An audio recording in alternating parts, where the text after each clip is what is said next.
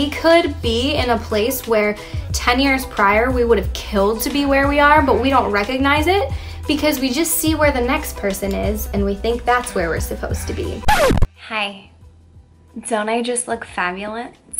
What is up? It's me, Sarah Marie. How you doing? I'm doing good. I'm doing good. I got a burn on my finger that I burned myself the other day and I think it's getting infected, so that's not great, but you know, besides that, we're doing good. I've had a lot of caffeine today because I was exhausted, so now I'm doing much better. I currently look like this and there's nothing wrong with that. Newsflash, newsflash, we don't actually look like what we look like after we've spent like two hours getting ready to look like something we don't look like. Just just thought I'd let you know in case you forgot.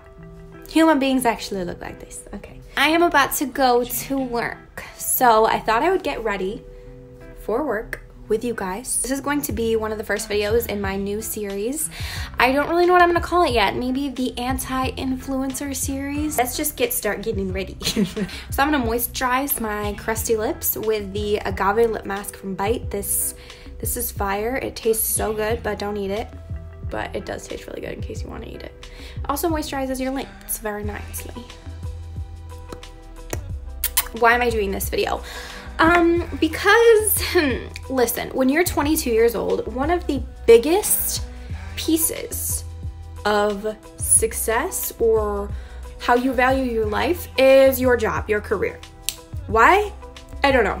I'm gonna take the Marc Jacobs coconuts primer. I got this off of eBay. don't know if it's real or not, still don't know. Um, but I like it, so I'm gonna put that on my face. I'm not sure why at this age, like early to mid 20s, the entire focus of our lives is what are you doing with it? What's your career? How much money do you make? Um, but it's kind of just how we value ourselves, which is really fucking sad. This is gonna be my BB cream today. It's the Cosmetics CC cream. Muy bueno. So I'm at a position in my life where girl, let's just get real for a second. I know, 22 years old. I graduated college in May and I am in a mountain of student loan debt. Yay! Like many other people, I did not have enough money to pay for college because I don't know who has a spare eighty to ninety thousand dollars just like chilling, but I did not. When it came to going to school, I fell into the whole like, yeah, you have to go to college and you have to go to a good, well known college or you're never gonna get a job sort of trap. And I paid a lot of money for school. Here I am. so I graduated in May, right? And everyone says, like, oh, You'll get a job after college, it'll have great benefits, you'll start paying off your student loans, you'll pay them until you're about 55 years old, and then you'll stop paying them off and you'll retire about 10 years later. That's your life, right? LOL. I am unemployed and I am no longer ashamed to admit that. Actually, I'm not because, like I said, I'm getting ready for work because I am a well, sort of. I did make my life a little bit harder because when I graduated college, I decided to move across the country. I'm sick of doing the like safe route. I'm sick of like following this societal norm pattern. I, am done. We're done with that, honeybeans. We're gonna move across the country because that's what I wanna do. So I did that without a job. And let's just say when you move to a new city and you don't have any connections yet, it's a lot harder to get a job. and I knew that, but I don't know if I knew that. oh, by the way, I'm using the Too Faced Born This Way concealer. I got this one at TJ Maxx. It looks different than a lot of the other ones people have, but um, I really like it. So a lot of people make bartending their career because honestly, you can make some good money, girlfriend. And not only can you make some good money, but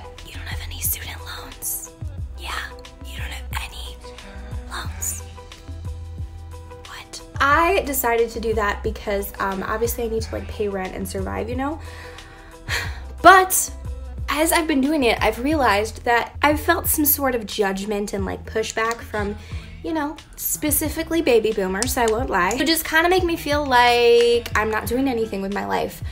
But I am. I'm living my life. I'm making money and I'm I'm having fun that's living, you know? Honestly, like, it's not that I've decided I don't want to be a nurse. I'm trying to be a nurse. It just hasn't happened for me yet. And That's okay. We all have different timing. We all have different purposes. We're all on different journeys of life. We're all different human beings. And we all have a different life that we're going to have. And that's actually good, not bad. It's good because if we all had the same life, it'd be really boring. Really boring. There would be zero interesting conversations ever. If you're like me and you graduated college, you have a bachelor's degree, but you're not working in it yet because you haven't really been able to find something yet, I don't want you to feel bad about yourself because I want you to know how unbelievably normal it is. If you're someone who is thinking about going to college but it doesn't feel like it's right for you, I want you to listen to that voice and know that there are so many, so many careers and jobs that you can do without going to college. And it doesn't make you any less intelligent. It doesn't make you anything less than anyone else. A college degree is just a college degree. It opens certain doors for you, but there are definitely people who don't want those doors opened. They want other doors opened. And some of those doors, you don't need a college degree, so why wouldn't you go for them if it's what you want? Like, just because society tells you it's not as good, or, you know, your parents or your aunts on Thanksgiving, like, who is telling you you're not good enough? Who is honestly telling you you're not good enough? Because I can almost guarantee to you, it's yourself no tea, no shade, but it's yourself. I set my face with the Cover FX setting powder on my eye. And now I'm using the Urban Decay Sin Palette on my face. Here I am. I am happy to be working in the restaurant industry at 22 with a bachelor's degree and a mountain of student debt because you know what? That's my life's journey and wherever I'm meant to go, I'm gonna go. And I'm just gonna keep working hard like I always have and I'm gonna keep having fun with my life like I always have, and I'm not gonna feel bad about where I am in this situation of life. Your job does not define you, your career does not define you. Who you are as a person, how you treat people, and your presence, your attitude, your vibe, if you will, that defines you. And you can have the coolest career ever. You can be getting paid so much money and be like the shittiest person ever. We've also met a lot of people with not so much money and not so much power and who are doing jobs that other people may deem as less than, who are such amazing people. Because that's what defines your worth, is who you are and how you treat people, not your career, not your income, none of that ish. I'm going to do my brow tease with the Goof Proof Goof Proof Goof Proof brow. Oh my god, I can't tell. The Goof Proof brow pencil. By the way, when I'm doing my makeup, I like to do something that's kind of natural, not like super crazy, but definitely plays up my features. I will also say that working in the restaurant slash service industry for a long time now has taught me so much about humans and people and just how to uh, communicate, like social skills. My social skills have gotten so much better from being forced to deal with like petty conflicts, like if someone didn't like their chicken. I've had to deal with that for so long now that I know how to deal with bigger conflicts and more serious conflicts because I have to deal with little stupid conflicts every single day, okay? I know how to talk to people better. I know how to make people happy. I know how to present an issue in a calm way. And uh, I don't know, honestly, working in the service industry has made me not only a better employee for whatever I end up doing in my life, no matter what it may be, but it's also made me a better person. I'm sweating, like profusely. Just put on some mascara. I'm using the L'Oreal Lash Paradise Illuminates mascara. Ma mascara it comes to student loans, unfortunately, the reality of it is, yes, you have to pay it off. It's not just like you can forget about it. Um, it's always gonna be there. That's just kind of the way society is set up. Do I think that's stupid? Yeah, I really do. I think that the conditions that our generation is going through was set up by another generation that didn't have to go through it, and they don't understand. People of the older generation genuinely do not understand what it's like to be 22 years old and have almost a $100,000 in debt before you've even gotten like your first job. So much pressure to like have kids and buy houses and do all these big things, but like we can't do that and not for a while because we have this student loan debt, which is why I just want to stress again that if college is not for you, don't go, honey or just go to one where you can get a scholarship, a full ride, or that's not as expensive, that's a lot more in your means. I just like to put a little bit of bronzer on my eyes as eyeshadow because it blends with the face better. I think it's pretty and um, it's really easy. All right, so now we're gonna do my hair. Um, she's crusty. She has not been washed in a little while. Not that bad. All right, so first we're gonna need some dry shampoo. This is Batiste. Live by dry shampoo. When you work till like 3 a.m., you're not washing your hair. You're just washing your body and then you'll get in bed and you'll go into bed, okay? Dry shampoo is your best friend. Also gives you lots of volume. Um, and yeah, and I know it makes you look like a grandma. You just gotta shake it out really well. Just shake it out, okay? I hope I'm not coming off as like an angry millennial in this video because honestly, that's not who I am. I'm not really an angry person at all. The only thing that I am is passionate and I'm passionate about people feeling okay as themselves. I'm passionate about people not comparing themselves to social media things.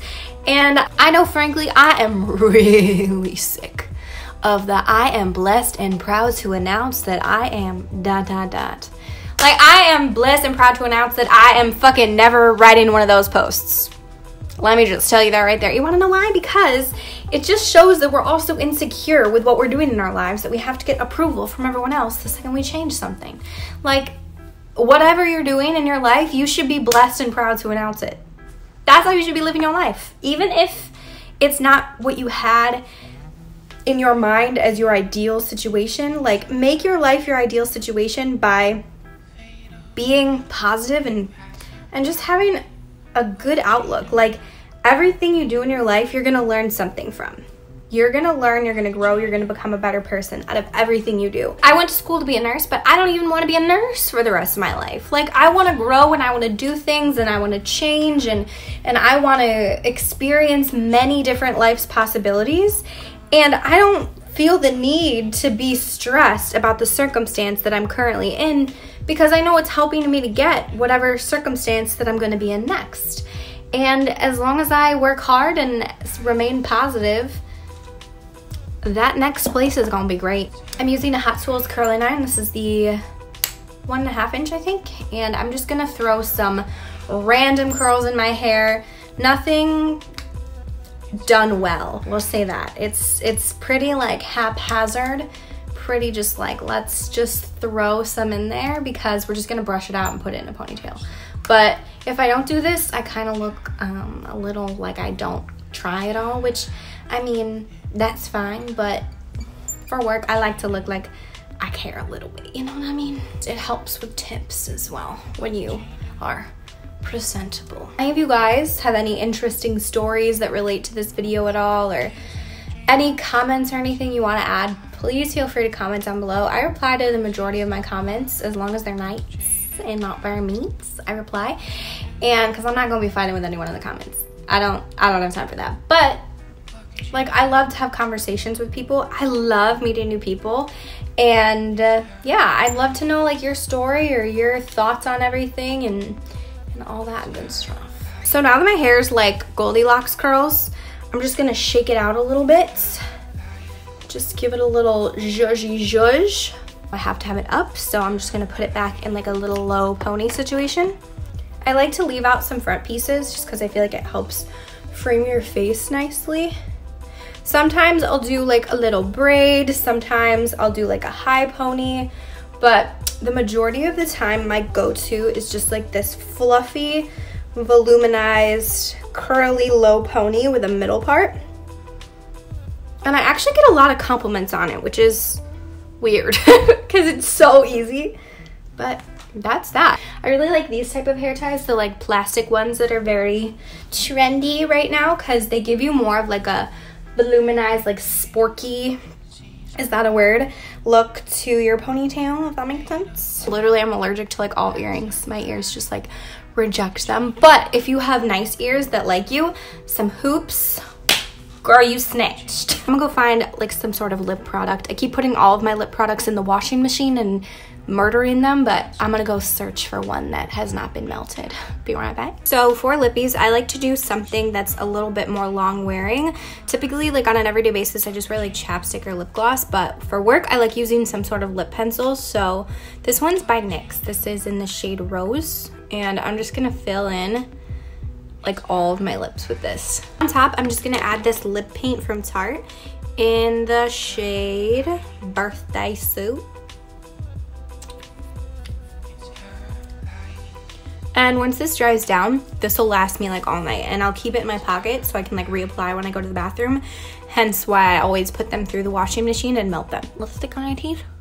Nope. So now it's time to smell good because smelling good is always fun. The first step for me is lotion. I love this lotion. This is the Dr. Teal's body lotion in eucalyptus and spearmint. If you like smelling fresh and like not super feminine, this is your lotion. It's got almost this like, not masculine, but just like very clean, very fresh, very like sexy. Is that a good word for it? Scent. And if you have the perfume Chanel Eau Fraiche, that's my favorite perfume. This goes so well with that perfume. It's almost like the lotiony version without being as intense, if that makes sense. So I'm just putting this all over my body so I can be nice and sensicles and also moisturized because I just showered. Oh, I forgot to mention, you should probably shower before you get ready. I showered, I didn't wash my hair because like I said, we ain't got a lot of time for that. That's for the days off. So for my outfits, I always need to wear all black. That's pretty much standard for bartenders. So I found some of my favorite black pieces, which I will share with you.